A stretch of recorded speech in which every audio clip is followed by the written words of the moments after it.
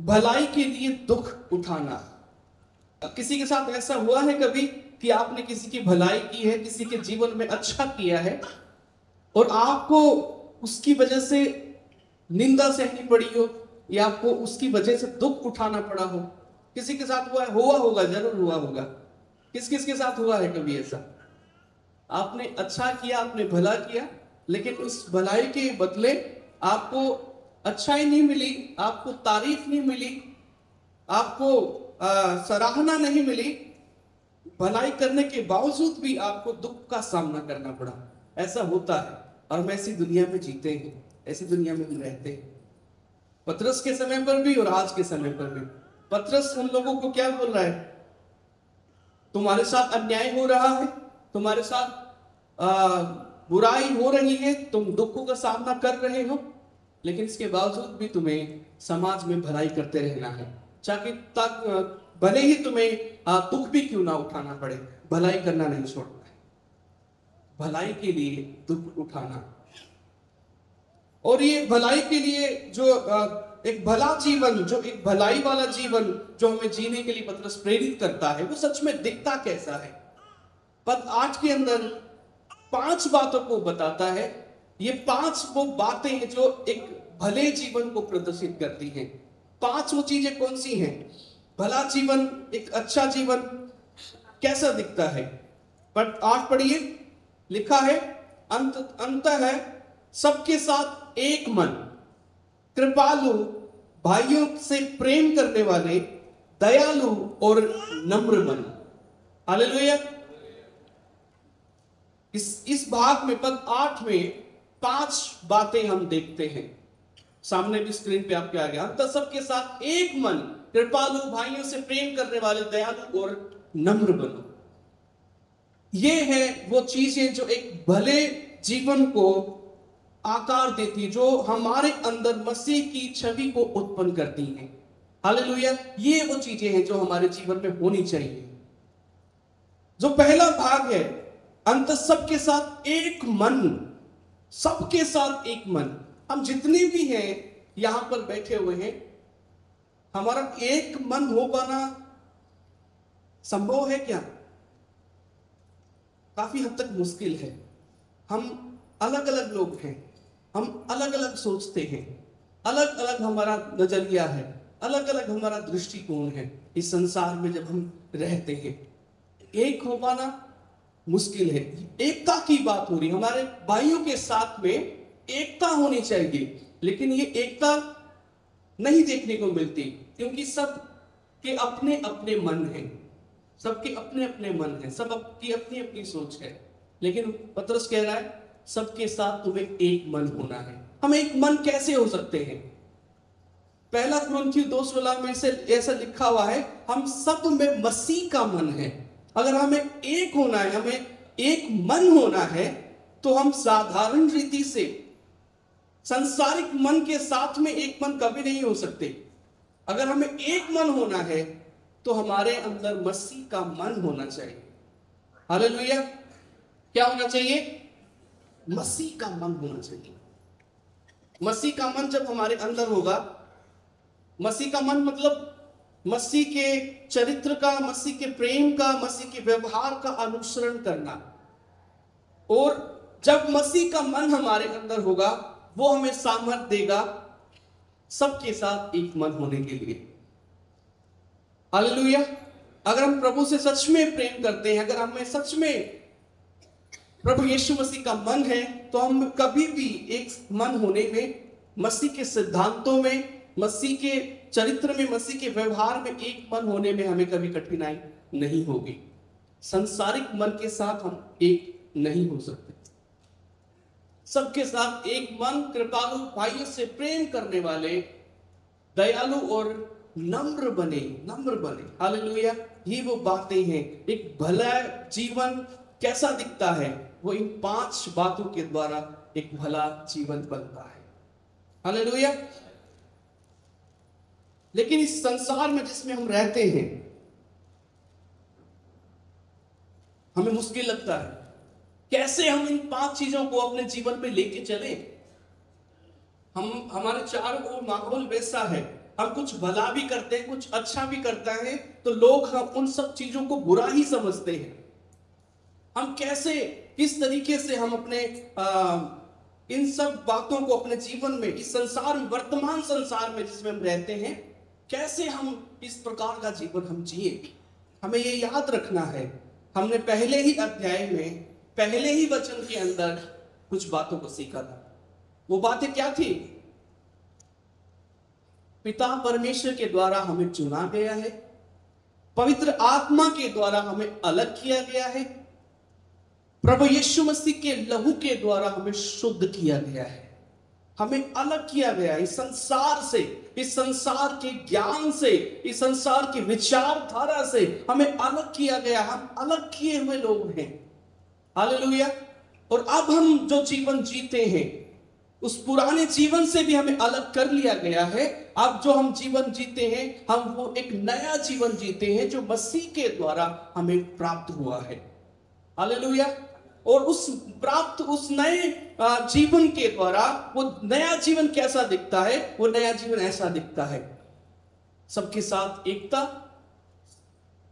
कृपा करना, दूसरे के ऊपर अनुग्रह दिखाना, क्योंकि आपने अनुग्रह पाया है।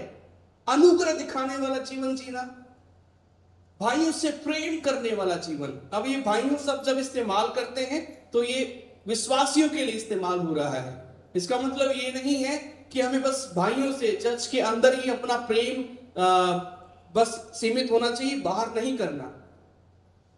हमें भाइयों से प्रेम करना है चर्च के अंदर जो हमारे विश्वासी भाई उनसे भी और जो बाहर हैं उनसे भी। हालेलुया। दया दिखानी है। हमने दया को पाया है। प्रभु यीशु की दया हम पर हुई है। हालेलुया। हमें दया दिखाने वाले बनना है। और हमें नम्र बनना है, हमारे अंदर घमंड ना हमारा प्रभु नम्र प्रभु, जिसकी पहचान को हमने पाया है, जिसने हमें नया जीवन दिया है, जो अब हमारे जीवनों में, हमारे हृदयों में रहता है। हालेलुया, वो नम्र परमेश्वर है। हालेलुया तो जो नई पहचान और नया जीवन जो हमने पाया है, उसके अनुसार प्रभु की सामर्थ्य में चलते हुए हम इन चीज़ों को अपने जीवन में लागू कर सकते हैं। इन चीज़ों के अनुसार, इन बातों के अनुसार हम अपने जीवन को लेके बढ़ सकते हैं। हालेलुया। तो ये बातें हैं। एक साथ मिलके पढ़े। सबके साथ एक मन, कृपालु भाई से प्रेम करने वाले, दयालु और नम्र बने। हालेलुया। याद रखिए, हमने ये चीज़ें पाई हैं। प्रभु से हमने पाई है। जो हमने सेत में मिला है, वो हमें सेत में देना है। जो हमें मुफ़्त में मिला है, वो हमें मुफ़्त में लोगों को देना है। ये प्रभु यीशु मसीह की आज्ञा है हमारे हालेलुया। दूसरी बात वो बताते हैं कि जब तुम इस संसार में जिस, जो तुम्हें दुख देता है, पीड़ा देता है, परेशान करता है, तुम्हें मारता है तुम्हारे साथ अन्याय करता है, उनके बीच में तुम्हें भलाई वाला जीवन जीना है, भलाई करते रहना है। हालेलुया। और दूसरी बात वो बोलता है, बदले की भावना नहीं रखनी है। अब जैसे संदर्भ में, जैसे परिस्थिति में वो जी रहे हैं, एक शारीरिक मनुष्य के अंदर बिल्कुल वो भावना आएगी कि इसने मेरे साथ ऐसा किया तो मैं भी इसके साथ ऐसा ही करूँगा। बदले की भावना, बदला लेना। लेकिन पत्रस सिखाता है, बदले की भावना नहीं रखनी है। नौ में क्या लिखा है? बुराई का बदला बुराई से न दो, न गाली के बदले गाली दो, पर आशीष ही दो। क्योंकि तुम इसी अभिप्राय से बुलाए गए हो कि उत्तराधिकार में आशीष प्राप्त करें। बुराई का बदला बुराई से मत दो। बदले की भावना हम अपने अंदर ना रखें। इस जगत में ये संसार ऐसा ही है। बार बार आपके साथ में विश्वास के कारण या आपके अच्छे कामों के कारण आपके साथ में बुरा बर्ताव होगा। बार बार होगा। लेकिन प्रभु के लोग हम अलग किए हुए लोग हैं, शुद्ध किए हुए लोग हैं। हमारी प्रवृत्ति ये नहीं होनी चाहिए कि हमारे साथ जिसने जैसा किया, हम भी वैसे ही उसके साथ करें। बुराई का बदला, बुराई से मत दीजिए। बदले की भावना नहीं रखनी है।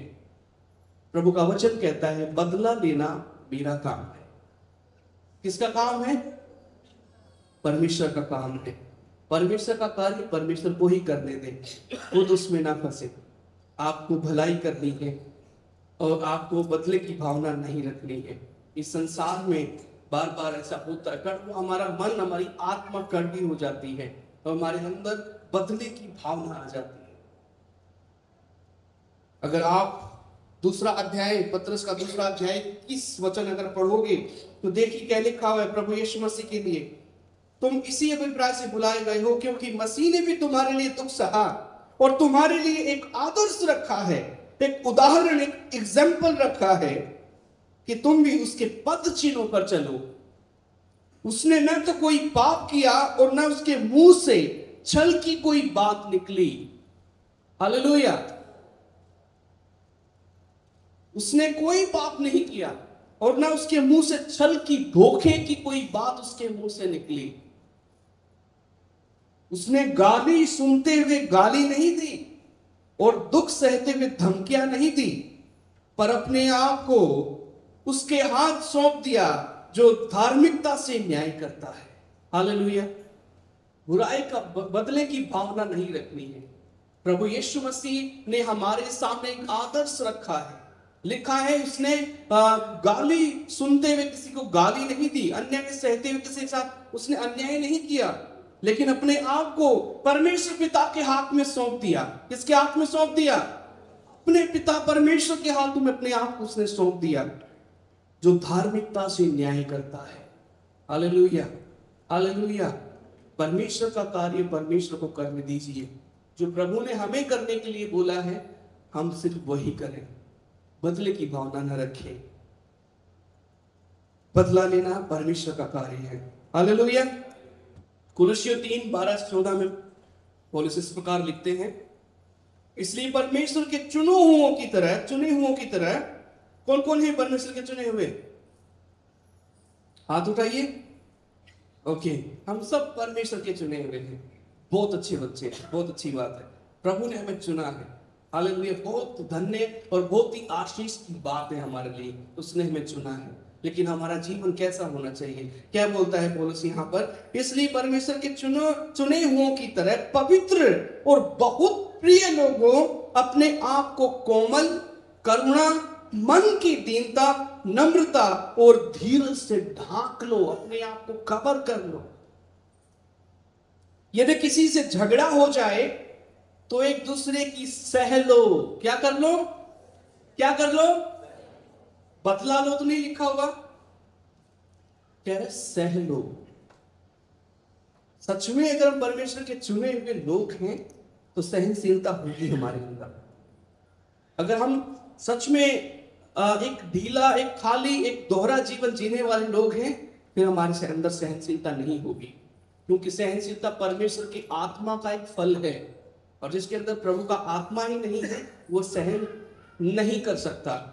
सहन जब आप करते हैं, सहनशीलता जब आपके अंदर प्रकट होती है, वो ये दिखाता है कि आप प्रभु से प्रेम करने वाले, उसकी आत्मा से भरे हुए लोग हैं। अगर किसी के साथ यदि किसी से झगड़ा हो जाए तो एक दूसरे की सह लो और माफ़ करो। पहली बात सह लो, सह और दूसरी बात क्या है? माफ़ करो। क्या करो? बहुत मुश्किल है। मुश्किल है? लगता है ना मुश्किल? माफ़ करना मुश्किल लगता है। शारीरिक मन से अगर हम सोचेंगे, बहुत मुश्किल है। कर ही नहीं पाएँगे। लेकिन आपको अगर ये बात याद है और आपका हृदय इस बात को सच्चाई से स्वीकार करता है कि मैं परमेश्वर का चुना हुआ हूँ, मैं अलग किया हुआ हूँ, मैं शुद्ध किया हुआ हूँ, मेरा पुराने जीवन के साथ मेरा कोई नाता नहीं है।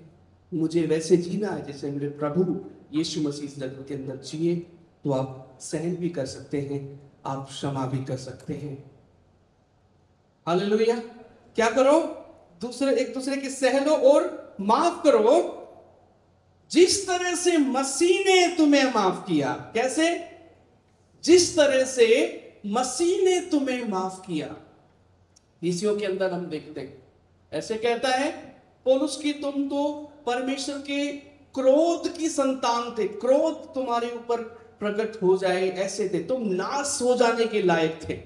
हम ऐसे लोग थे कि हमें नाश हो जाना चाहिए था, जैसे हमारे कर्म थे जैसे हमारा चरित्र था, जैसा हमारा हृदय था, जैसे हमारा मन था, जैसे हमारे निर्णय थे, उन सब के अनुसार हमारे ऊपर परमेश्वर का प्रकोप आना चाहिए था। हम ऐसे लोग थे। लेकिन प्रभु यीशु मसीह के अनुग्रह के द्वारा विश्वास से हमने उद्धार को प्राप्त किया है। उसने हमें क्षमा किया, उसने हमें माफ़ किया, तुम सह लो और माफ़ करो। जिस तरह से मसीह ने तुम्हें माफ़ किया, तुम्हें भी एक दूसरे को करना चाहिए। तुम्हें भी एक दूसरे को करना चाहिए। क्या करना चाहिए? माफ़ करना चाहिए। ये प्रभु के गुण, यीशु मसीह के गुण हैं, जिन बातों को स्वीकार करने के लिए, अपने जीवन में लागू करने के लिए प्रभु का वचन कहता है, वो यीशु मसीह के गुण है। हमारे अंदर प्रभु यीशु मसीह के गुण होने चाहिए। Hallelujah hallelujah. यीशु, लोगों को हमारे जीवन से यीशु की छवि दिखनी चाहिए। हम जहाँ पर भी जाए, हम स्कूल जा रहे हैं, बच्चे, हम जॉब पे जा रहे हैं, हम अपने घर पे हैं, हम अपने पड़ोसियों से मिल रहे हैं, हम कहीं पर भी जा रहे हैं, हमारे अंदर प्रभु यीशु मसीह की छवि दिखनी चाहिए। प्रेम करने वाले, क्षमा करने वाले, नम्र ये हमारी पहचान हो। ये क्या हो हमारी? ये हमारी पहचान होनी चाहिए।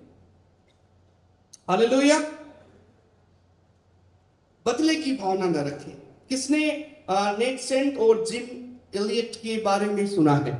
नेट सेंट और जिम इलियट दोनों अच्छे मिशनरी साथी थे और इनके साथ में तीन लोग और थे, जो एक्वाडोर नामक जगह पर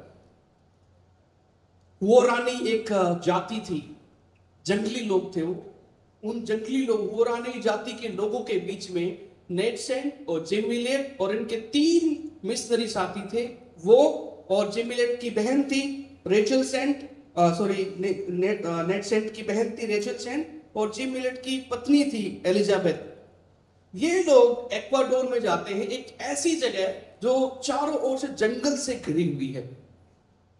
और हुरानी जाति के लोगों के बीच में ये सुसमाचार की सेवा करने के लिए वहाँ पर गए, ताकि वो भी परमेश्वर के स्वाद को चख सके, परमेश्वर को वो जान सके। उन लोगों के बीच में जाते हैं, जिन लोगों का बाहरी मनुष्य से कभी कांटेक्ट ही नहीं हुआ। बाहरी लोगों को जिन्होंने देखा ही नहीं। और ऐसे खतरनाक, ऐसे क्रूर लोग कि आपस में लड़ते रहते थे। कोई दया नहीं कोई प्रेम नहीं, आपस में ही ये दो ग्रुप थे, आपस में एक दूसरे को मारते रहते थे। इन लोगों के बीच में, ऐसे खतरनाक लोगों के बीच में नेटसेंट चिमिलियट और इनके जो तीन मिशनरी साथी और रेचल सेंट और एलिजाबेथ, ये जाते हैं जंगल में सुसमाचार की सेवा करने के लिए। और एक दिन ऐसा आता है कि ये उन लोगों के बीच में पहुँच जाते हैं एक लंबे संघर्ष के बाद में। दो तीन लोगों से कांटेक्ट हुआ इनका। इनको लगा कि अब ठीक है, अब हम लोगों से मिल सकते हैं। और एक दिन 1956 में आई थी, कई सारे लोग आए। इन्होंने सोचा, अरे, बहुत अच्छी बात है, और ये लोग हमारे पास आ रहे हैं, हम इनको आप प्रभु के बारे में बताएँगे। इन्होंने एक लंबा समय वहाँ पर बिताया था, जंगल के बीच में, एक भलाई का काम करने के लिए। वो क्या था? ये लोग प्रभु को जान सके। सुसमाचार सुनाने और ये लोग जब इनके पास में आए, इन पाँचों मिशनरियों के पास में, ये जब जंगली लोग इनके पास में आए मुरानी जाति के लोग, इन्होंने आते ही इनके ऊपर भाले से प्रहार करना शुरू कर दिया और उनके शरीरों को भेज दिया। पाँचों मिशनरियों को अपनी जान उस दिन गंवानी पड़ी। क्या करने गए थे लोग? क्या करने गए थे? सुसमाचार सुनाने के लिए। लेकिन क्या हुआ इनके साथ? इनको अपनी जान गंवानी पड़ी। उन्होंने भालों से इनके शरीर को भेज दिया। आपको पता है, जब वो जंगली लोग जिनके बीच में ये सुसमाचार सुनाने गए थे, वो जब इनको मार रहे थे एक एक करके, इनमें से एक के पास एक गन थी, एक बंदूक थी। अपने सुरक्षा के लिए उनके पास एक बंदूक थी। और उनके वो अपने पास ही रखते थे। जंगली जानवरों को डराने के लिए होगा या कैसे? लेकिन जब वो लोग उन्हें मार रहे थे, जिसके पास वो बंदूक थी, जिसके पास वो गन थी, उसने निकाल कर वो उनको मार सकता था, लेकिन उसने नहीं मारा। उसने नहीं मारा। बदले की भावना न रखे।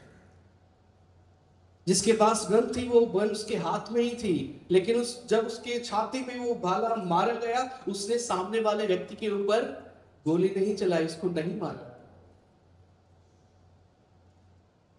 पाँचों के पाँचों मर गए उस दिन। लेकिन रेचल सेन, जो नेट सेन की बहन थी और एलिजाबेथ, इन दोनों ने उस सेवा को जारी रखा, जिन्होंने शुरुआत की थी। ये लोग एक साथ जंगल के अंदर थे, लेकिन रेचल और एलिजाबेथ दूसरी जगह पर थे। जब इनको मार दिया गया, कई दिन के बाद जब इनको पता चला तो रेचल समझ गई कि कुछ घटना घट गई है। रेचल ने और एलिजाबेथ ने, एलिजाबेथ की उस टाइम पे दस महीने की बेटी थी। सोचिए, जंगल के अंदर वो रह रहे थे। और कोई छोटा मोटा कोई ऐसा जंगल नहीं जिनमें से आजकल हम लकड़ियाँ लेकर आते हैं। बहुत खूंखार जगह है। दस महीने की बेटी थी उसके पास में। दोनों ने उस काम को जारी रखा, सेवा को जारी रखा, सुसमाचार सुनाना जारी रखा। और एक दिन ऐसा आया, एलिजाबेथ ने और रिचल सेंट ने दोनों ने मिलकर उन लोगों के बीच में सुसमाचार सुनाया और उन जंगली जाति के लोगों का जीवन बदल गया। हालेलुया। क्या हो गया? जीवन बदल गया। उन्होंने भलाई अपने जीते जी तो नहीं देखी लेकिन बाद में उनकी दया ने जो उन मिशनरियों के अंदर थी, उनके प्रेम का प्रतिफल ये निकला कि बहुत दिनों के बाद उन्होंने उस जाति ने प्रभु यीशु मसीह को अपना उद्धार करता करके ग्रहण किया। और आपको पता है, रेचल सेन के दो बच्चों का बपतिस्मा एक्वाडोर में उस जंगल के अंदर हुआ। और आपको पता है, उसको उन बच्चों का बपतिस्मा करने वाला कौन था? वही व्यक्ति जिसने नेट सेंट को जान से मारा था। उसी व्यक्ति ने नेट सेंट के भांजों को, रेचल के दो बेटों को अपने हाथ से बपतिस्मा दिया। क्योंकि वो उस समय तक एक अच्छा अगुआ बन गया था, एक पास्टर बन गया था। हाले लुया हाले लुया और आज बहुत अलग रीति से वहाँ पर प्रभु का काम हो रहा है, सब कुछ बदल चुका है। वो जाति, जंगली जाति के लोगों का जीवन बदल गया है, रहने का तरीका बदल गया है, वहाँ पर अच्छे हॉस्पिटल हैं, अच्छी व्यवस्था उनके लिए है। क्या बदले की भावना से उस दिन अगर उनको, उनके ऊपर गोली चला दी जाती तो क्या ये परिवर्तन की उम्मीद की जा सकती थी? बताइए, की जा सकती थी क्या उम्मीद? नहीं की जा सकती थी। बदले की भावना मत रखिए। जिस संसार में हम रहते हैं, ये ऐसा ही है। हम अच्छाई करेंगे, हमें मार मिलेगी, हमें दुख मिलेगा। लेकिन याद रखिए, हम प्रभु के लोग हैं, प्रेम करने वाले लोग और प्रभु के प्रेम का प्रचार करने वाले लोग। हमारा रवैया वैसा ना हो जैसे हमारे सामने वाले व्यक्ति का है। बल्कि हमारा रवैया ऐसा हो कि सामने वाला व्यक्ति जो हमारा विरोध करता है, वो हमारे अंदर प्रभु यीशु के प्रेम को देख पाए।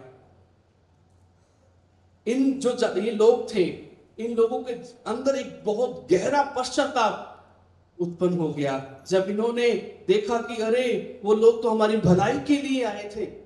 वो लोग जो आए थे, वो तो हमें बचाने के लिए आए थे, हमारे लिए अच्छा करने आए थे, लेकिन हमने उन्हें मार दिया। उस पश्चाताप ने उनको इतना घेर लिया कि जब रेचल और एलिजाबेथ के द्वारा सुसमाचार के कानों में पड़ा, प्रभु की सामर्थ ने इनको, क्योंकि वो नम्र हो गए, प्रभु के आत्मा ने उनके जीवन को बदल दिया।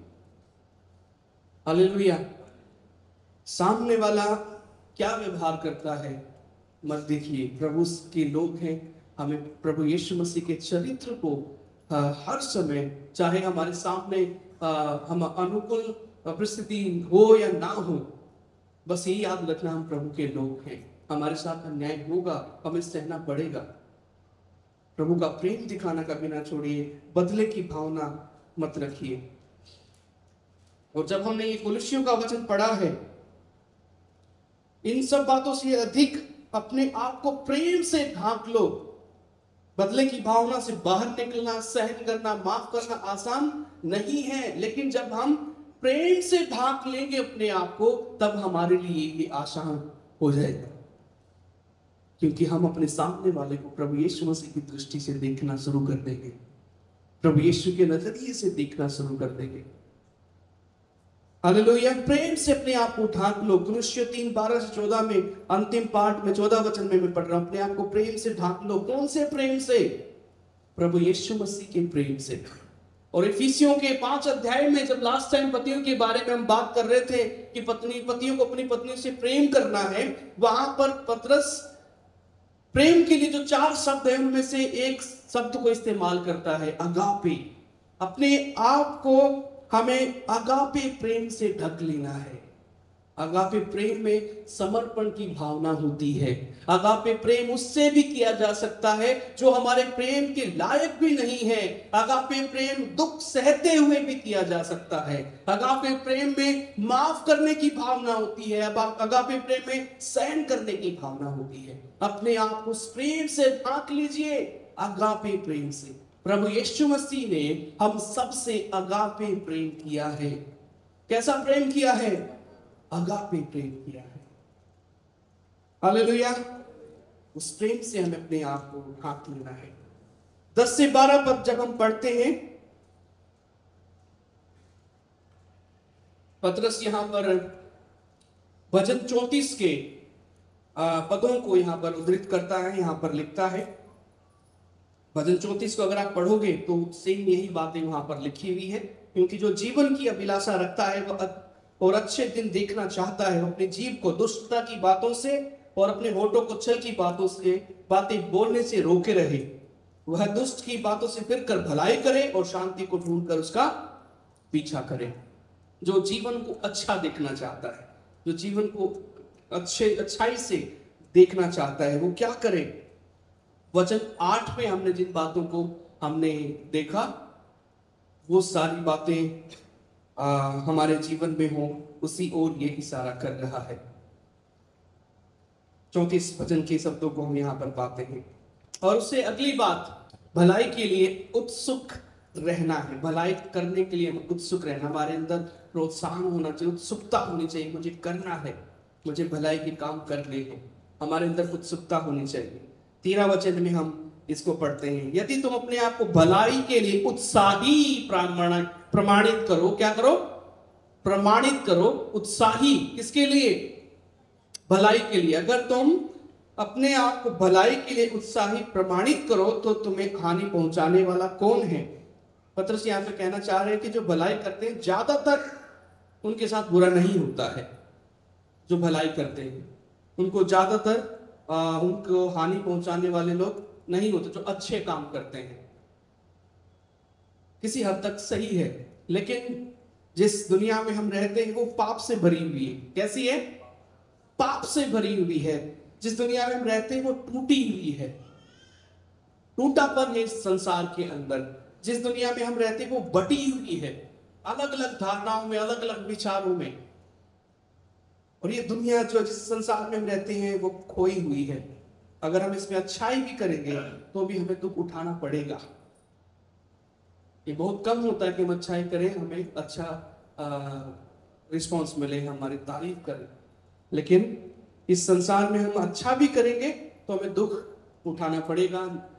नेट सेंट के बारे में हमने जो उदाहरण देखा।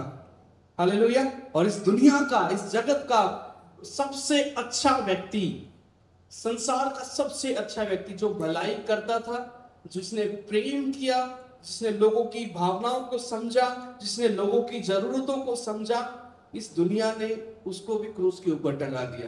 किसको? प्रभु यीशु मसीह को। उसको भी क्रूस के ऊपर उन्होंने टंगा दिया। इस संसार के सबसे अद्भुत व्यक्ति को। भलाई करने के लिए हमें उत्सुक रहना है। चाहे हमारे सामने कैसी भी परिस्थिति क्यों ना हो। सिचुएशन के कारण, परिस्थितियों के कारण अच्छाई करना मत छोड़िए। हमें लोगों से अच्छा प्रत्युत्तर मिले या ना मिले, लेकिन आप याद रखिए, परमेश्वर के लिए, परमेश्वर के पास आपकी भलाई किए हुए सब चीज़ों के लिए एक बहुत बड़ा परिणाम है, बहुत बड़ा फल है। इस संसार में आप उम्मीद मत कीजिए कि अगर मैं अच्छा करूँगा तो मुझे अच्छाई मिलेगी, मेरी तारीफ़ होगी, मेरी वाहवाही होगी। संसार से तारीफ़ की इच्छा मत कीजिए।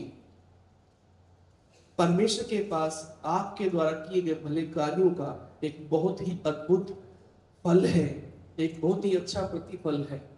प्रभु से हम इच्छा करें, प्रभु की और उन आशीषों की ओर अपने ध्यान को हम लगा के रखें। हालेलुया। तो इस संसार में दुख उठाना पड़ेगा, इसलिए वो अगले ही पद में वो कहता है, भलाई के लिए, कष्ट सहने के लिए तैयार रहे मतलब हमें पता है कि मैं भलाई करूँगा मुझे कष्ट भी मिलने वाला है, और उसके मुझे, उसके लिए मुझे तैयार भी होना है। ये मसीह ज़िंदगी है। सारे दुनिया से अलग, सारे संसार से अलग, सारी नीतियों से अलग, सारे नियमों से अलग। प्रभु का दिया हुआ ये जीवन है और हमारे प्रभु ने ऐसा जीवन जिया है। हम ऐसे नहीं कह सकते कि इस संसार में पहले किसी ने तो ऐसा किया नहीं। मैं कैसे कर सकता हूँ? प्रभु यीशु मसीह देह में रहते हुए, मनुष्य की देह में रहते हुए, उन्होंने ये जीवन इस संसार के अंदर जिया है। ऐसा जीवन उसने इस दुनिया के अंदर जिया है। चौदह में इस प्रकार लिखा है, फिर भी यदि धार्मिकता के लिए कष्ट सहो तो धन्य हो।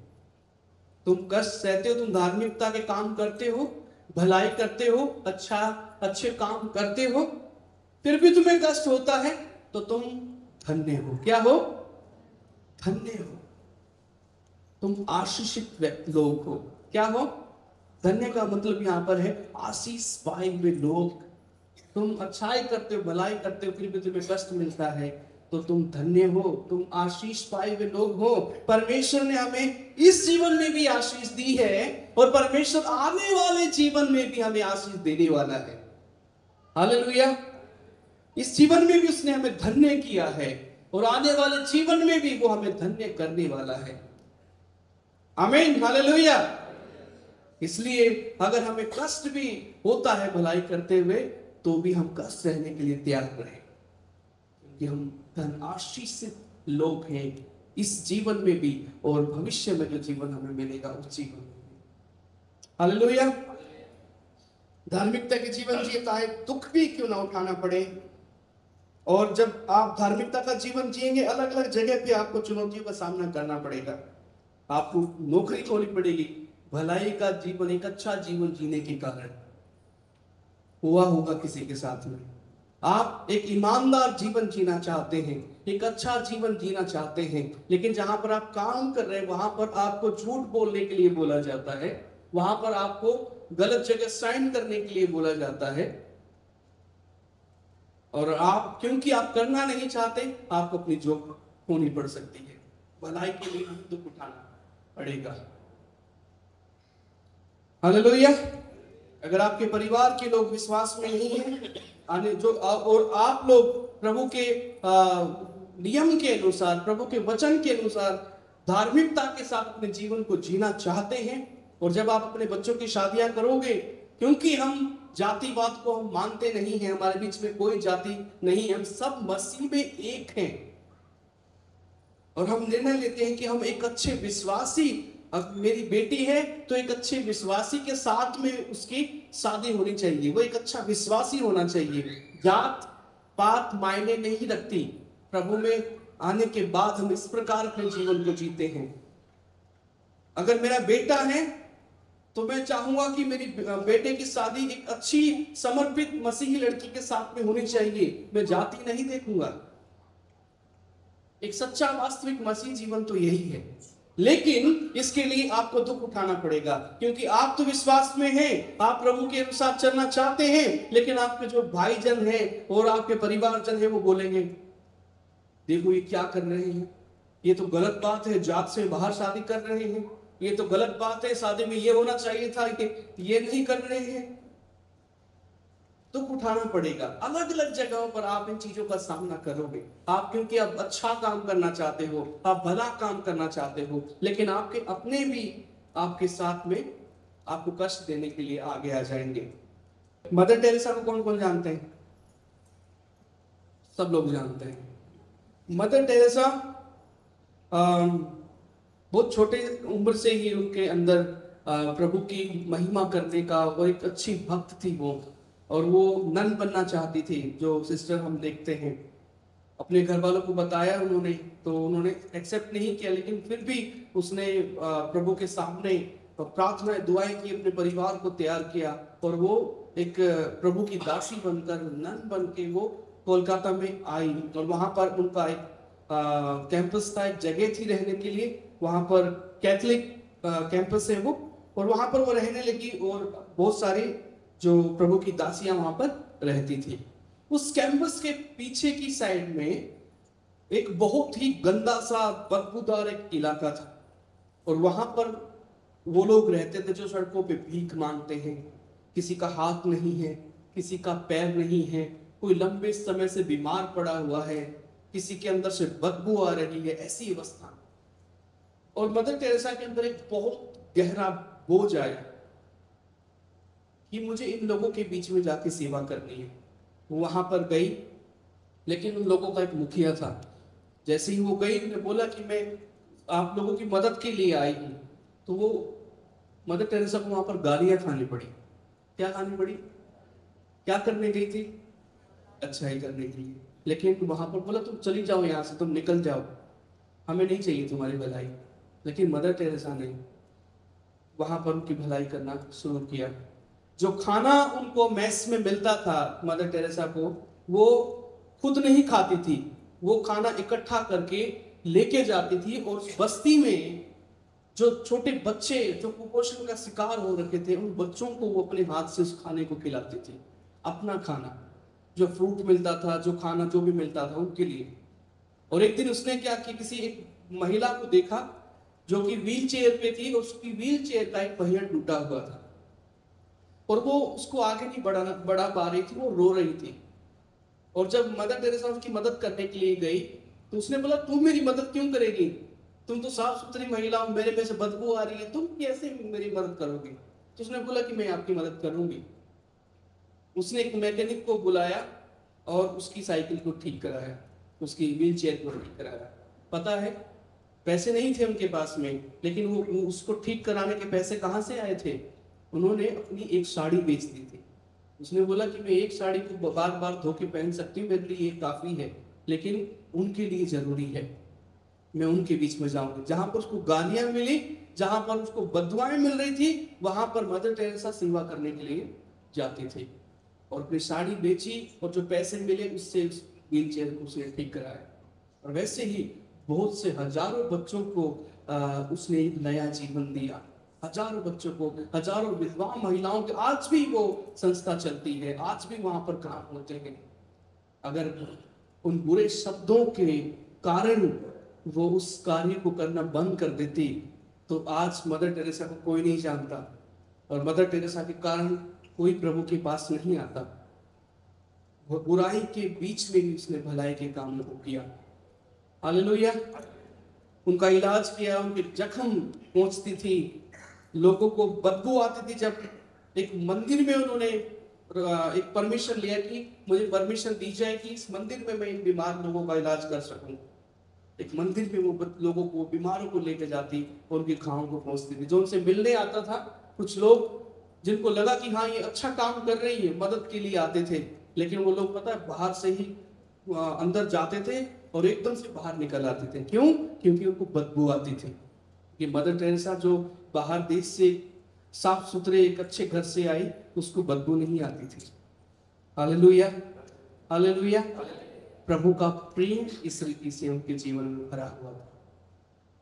वो जानती थी, प्रभु ने मुझे चुना है, मुझे अलग किया है।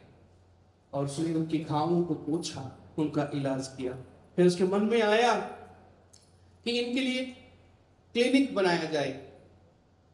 उन्होंने छोटी गाड़ी को भी खरीदा है। कबाड़ में पड़ी हुई गाड़ी उसको ठीक करवाया और जगह जगह जाकर वो मरीजों से मिलती थी कोड़ियों से मिलती थी उनका उनका इलाज करती थी। फिर प्रभु ने के अंदर एक बुलाहट को दिया कि वो एक क्लिनिक को बनाए। एक अच्छा क्लिनिक होना चाहिए लेकिन उसके पास पैसे नहीं थे।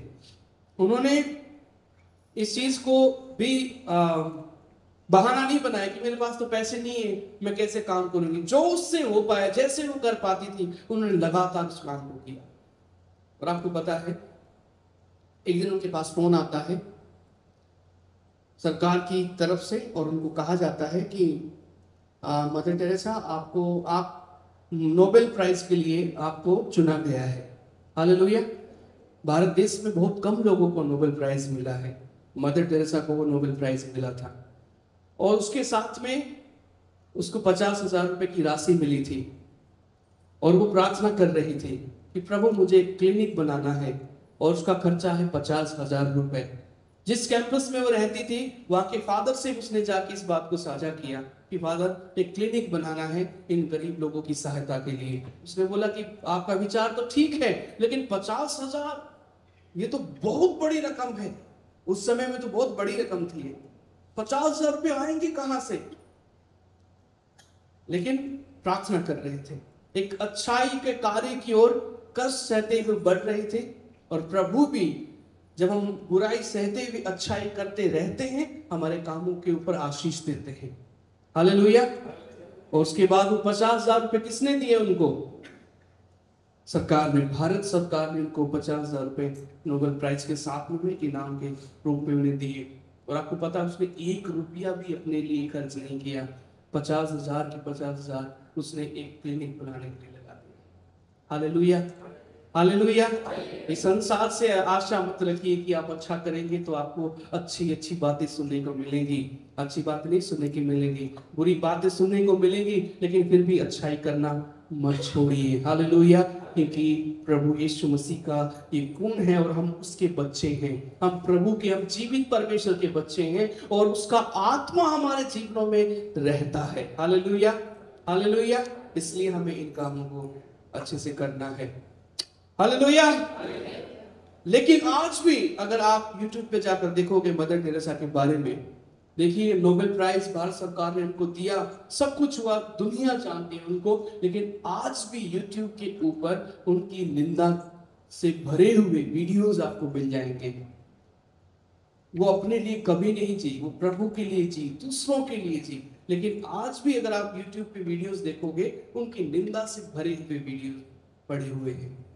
वो तो धन परिवर्तन करती थी लोगों का बच्चों के साथ में आ, वो गलत व्यवहार करती थी। इतने सारे लोग वहाँ पर मर गए थे उसके काम उसके कारण उसकी गलती के कारण। बहुत सारे वीडियोस वहाँ पर मिल जाएँगे। लेकिन उन्होंने अपने भलाई के काम को करना जारी रखा। हालेलुया इसलिए निराश मत होइए जब आपकी कोई निंदा करे। अच्छाई के कारण लगे रहिए। प्रभु की ओर से इसका बड़ा प्रतिफल है। आगे बढ़ते हैं।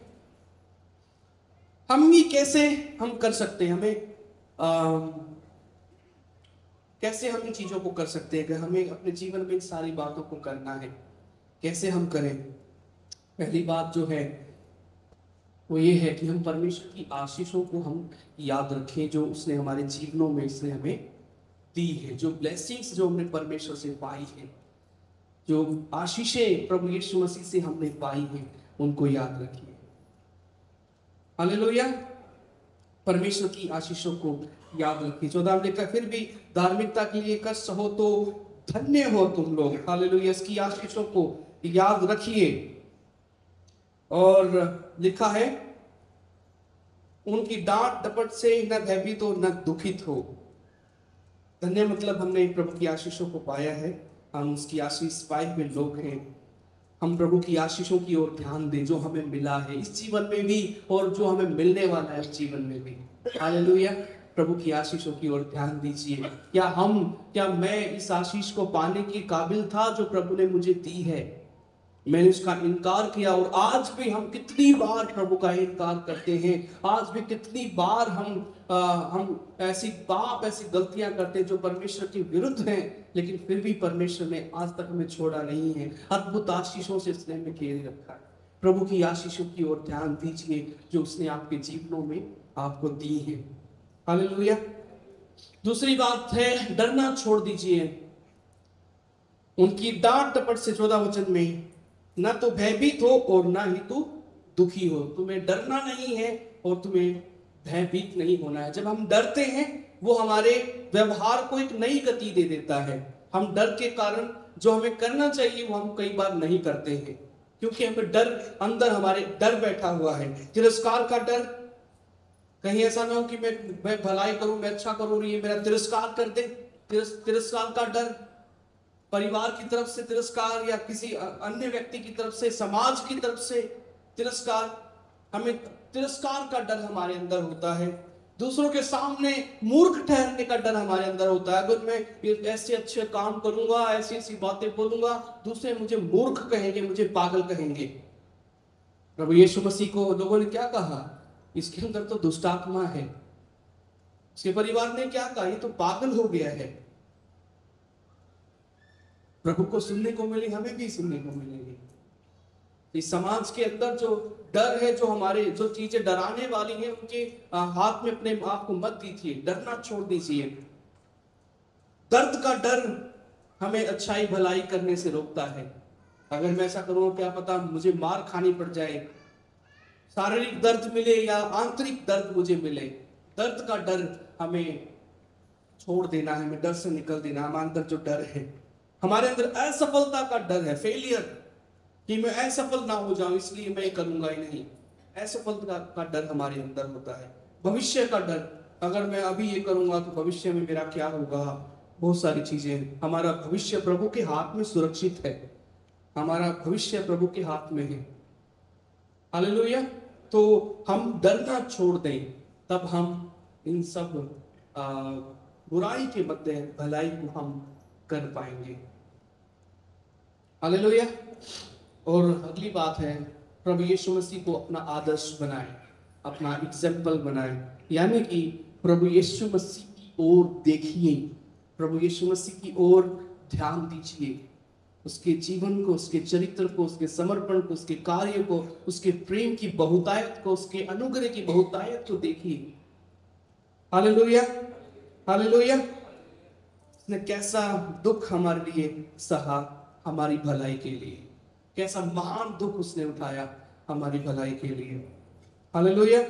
अठारह में लिखा है, मसीह भी सब यहाँ पर पत्रस हमारे दुखों को मसीह के दुखों के साथ में जोड़ता है। मसीह भी सब पापों के लिए, सब पापों के लिए एक ही बार मर गया, अधर्मियों के लिए धर्मी, जिससे वह हमें परमेश्वर के समीप ले आए। एक ही बार वो मर गया पापों के लिए। किसके पापों के लिए? हमारे पापों के लिए। अधर्मियों के लिए। धर्मी कौन अधर्मी है? हम लोग अधर्मी। हम अधर्मी थे। हम गलत कार्य करने वाले, पाप में पड़े हुए हम अधर्मी लोग थे। लेकिन हम अधर्मियों के लिए उस धर्मी ने अपनी जान को कुर्बान कर दिया कि हम परमेश्वर के समीप ले जाए जाए। परमेश्वर पिता के नज़दीक हम ले जाए जाए। हमारा पाप परमेश्वर के करीब जाने में सबसे बड़ी हमारी बाधा और उसका कोई भी तरीका नहीं था कि मुझसे छुटकारा प्राप्त कर सके। प्रभु यीशु मसीह का लहू बहना एक पवित्र मनुष्य का लहू बहना ज़रूरी था, जो यीशु मसीह ने हम अधर्मियों के लिए, उस धर्मी व्यक्ति ने अपने लहू को बहाया। यीशु मसीह की ओर अपने ध्यान को लगाए। यीशु मसीह को अपना आदर्श, अपना उदाहरण बनाइए। हालेलुया। वह शरीर के भाव से तो मर गया, परंतु आत्मा के भाव से जिलाया गया। और बाईस में लिखा है, वह स्वर्ग में जाकर, कहा जाकर? स्वर्ग में जाकर पिता की दाहिनी ओर विराजमान है। पिता की दाहिनी ओर वो बैठा हुआ है। हालेलुया। और स्वर्गदूत, अधिकारी और शक्तियाँ उसके अधीन कर दिए गए हैं। हालेलुया। हमारे दुख जो हम संसार के अंदर उठाते हैं, पत्रस हमारे दुखों को प्रभु यीशु मसीह के दुखों के साथ में जोड़कर हमें बताता है। जैसे मसीह ने संसार में भलाई करते हुए दुख उठाया, अपनी जान को कुर्बान किया और वो पिता परमेश्वर के दाहिनी ओर जाकर विराजमान हो गया वो स्वर्ग में, जहाँ पर अनंत काल की आशीषें हैं, वहाँ पर स्वयं परमेश्वर अपने पिता के दाहिने ओर जाकर विराजमान हो गया। हालेलुया। जैसे प्रभु यीशु दुखों के मध्य अपने उद्देश्य को पूरा करके मृत्यु पर विजय होकर पिता के दाहिनी ओर जाकर विराजमान हो गए, वैसे ही हम भी परमेश्वर की आशीषों को अपने जीवन में पाएँगे। हालेलुया। जैसे वो मरा और उसने जीवन पाया, वैसे ही हम भी इस संसार में भलाई करते हुए हमको उठाना पड़ेगा। लेकिन हम भी प्रभु यीशु मसीह की तरह जीवन आशीष पाएँगे जिनका वायदा उसने अपने वचन में किया है। हालेलुया। अनंत काल का जीवन अनंत काल की आशीषें हम पाएँगे। हालेलुया। आइए प्रार्थना करें कि ऐसा जीवन हमारा होने पाए।